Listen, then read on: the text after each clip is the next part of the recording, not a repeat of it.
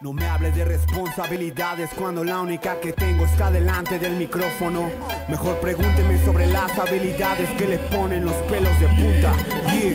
Así es, esto es.